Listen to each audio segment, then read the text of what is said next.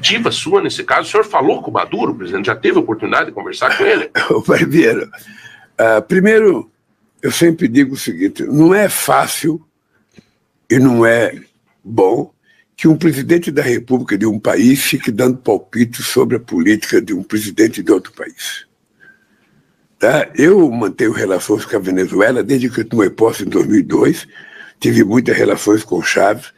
A Venezuela era um país que o Brasil tinha um, um superávit de 4 bilhões de dólares por ano. Sabe? E essa relação ficou deteriorada porque a situação política está ficando deteriorada na Venezuela. Eu conversei pessoalmente com o Maduro antes das eleições.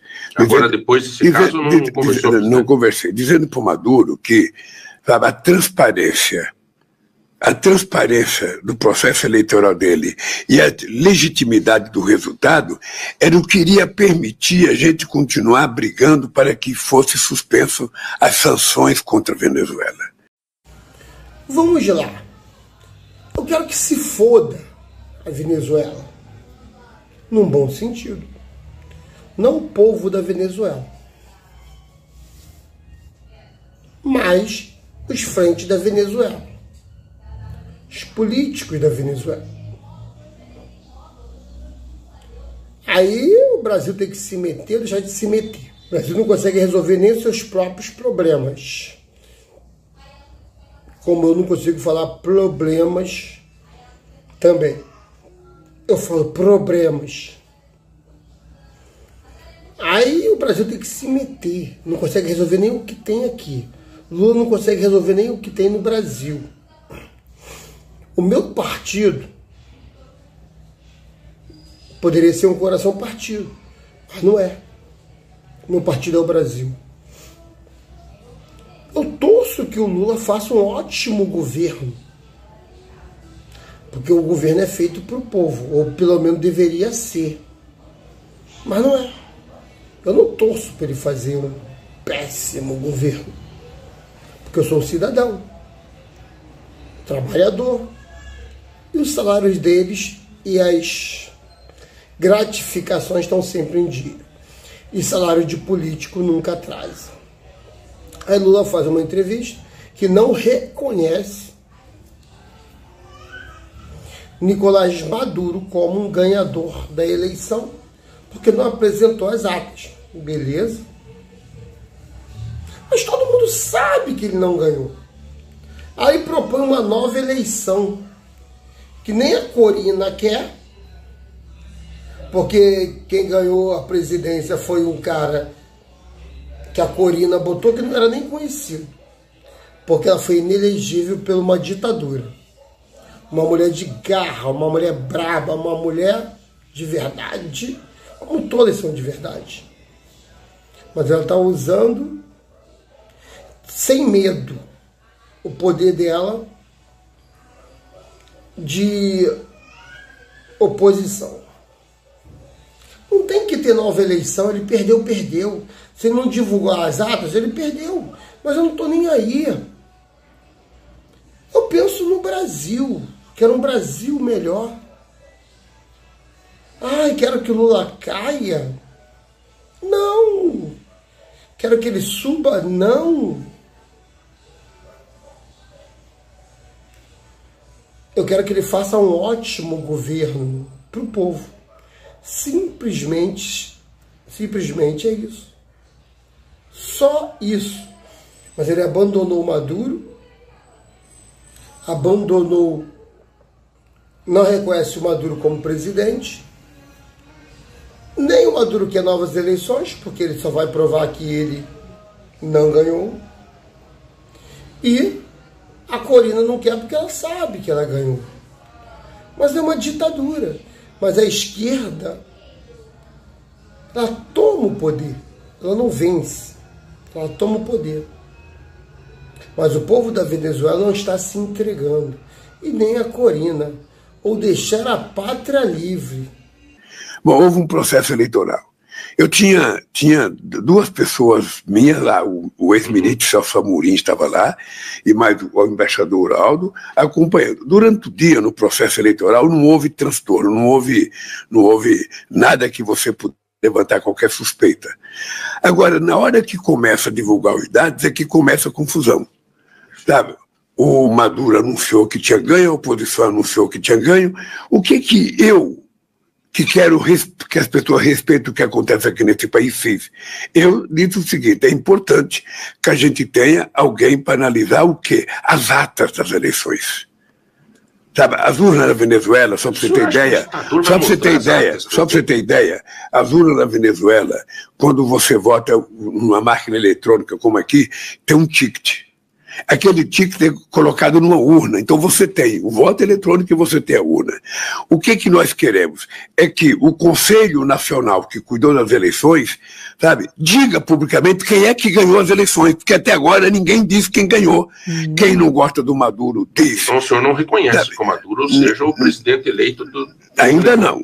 Ainda não. Ele sabe que ele está devendo uma explicação para a sociedade brasileira. Pessoal, vocês acabaram de ver aqui, ele foi questionado. Então, o senhor não reconhece a vitória de Maduro? Ele disse, ainda não. Vou colocar aqui de novo, gente, ó.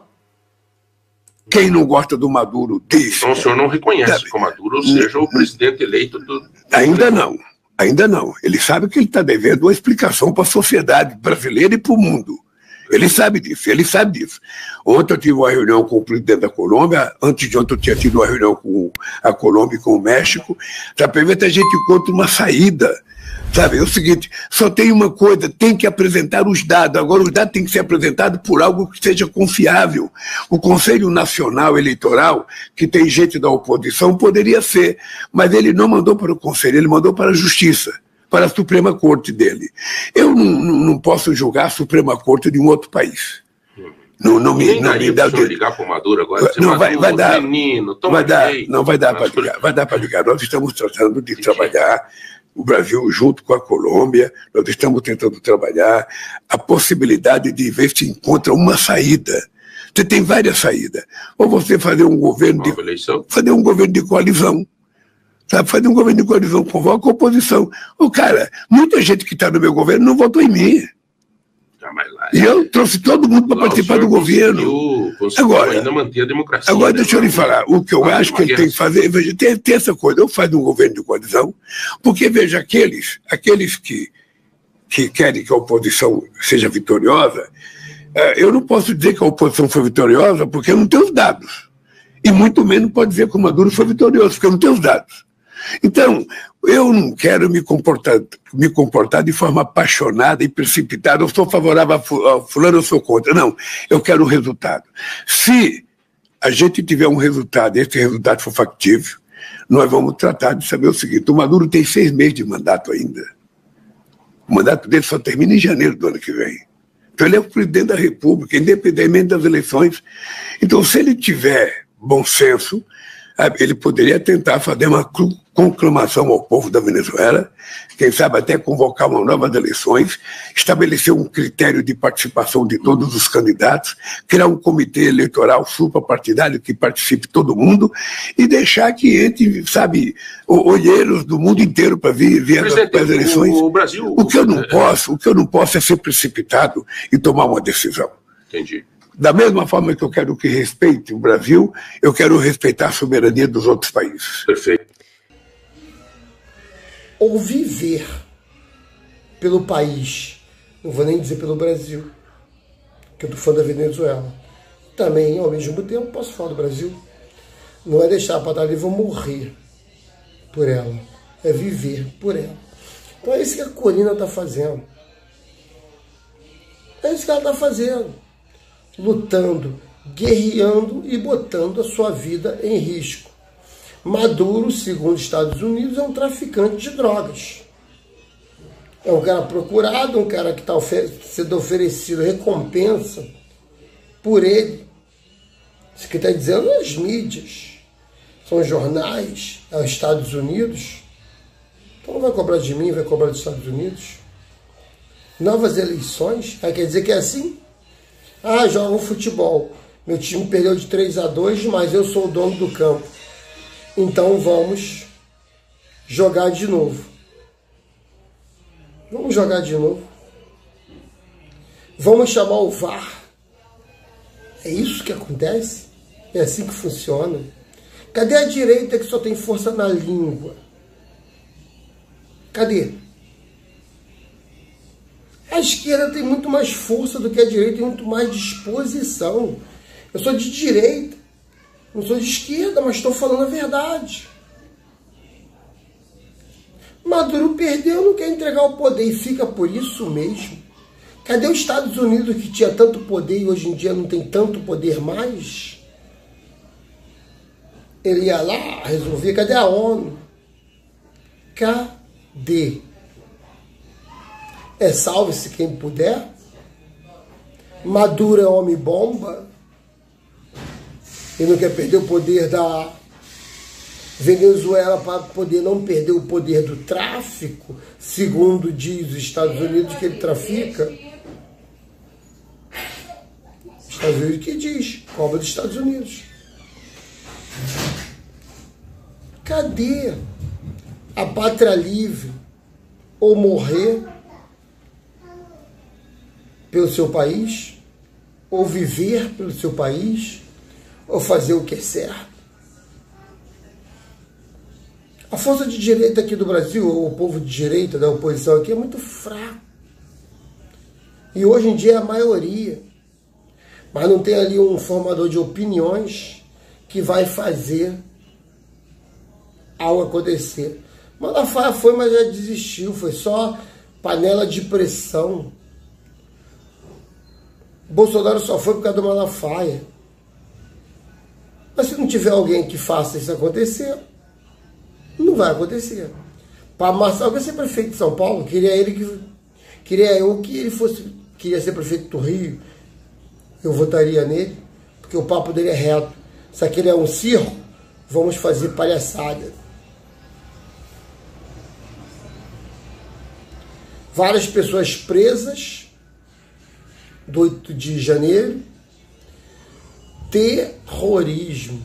Mas quando era aqueles Black Bladders, Black Black, Black não sei o que lá. Não foi. Quando foi sem terra, não foi. Não foi ah, terrorismo. Foi só uma manifestação. Então vou ficar brigando pela Venezuela. Eu tenho que falar sobre o meu país. Eu tenho que falar sobre o Brasil. Viver pelo Brasil. Lula está fazendo meia culpa. Ah, novas eleições. Novas eleições? Maduro perdeu, acabou. Generais do Maduro andam de carros de um milhão. Todo mundo sabe a verdade, mas vivemos numa ilusão. Porque na Bíblia está escrito: no mundo, tudo é ilusão. Eu sou Lindomar, cansado às vezes até de gravar, porque é tanta loucura e tanta mentira que dá vontade de fazer igual a tartaruga, botar a cabeça para dentro do casco e deixar rolar. Valeu, tamo junto, até o próximo vídeo e fim de papo.